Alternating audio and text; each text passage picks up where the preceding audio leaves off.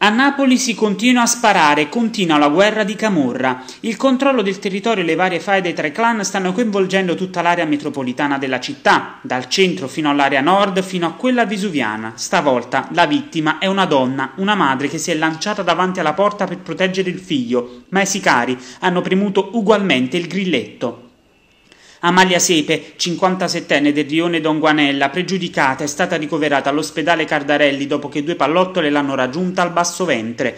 L'agguato è avvenuto alle 17.15 circa di ieri, quando la donna stava rincasando col nipotino. È stata bloccata davanti alla sua abitazione da due sconosciuti che, puntandole contro l'arma, le hanno intimato di far uscire il figlio, un 33enne anch'egli pregiudicato.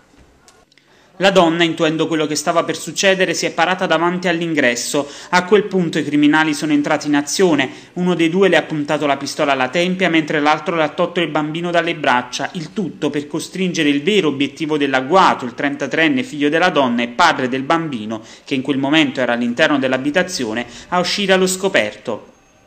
La donna lo ha capito e ha coperto il figlio, rimanendo ferita dai colpi di arma da fuoco. Trasportata dal personale del 118 all'ospedale Cardarelli, non è in pericolo di vita. Il bimbo è rimasto illeso, mentre il 33enne potrebbe aver riportato una lieve ferita sulla coscia.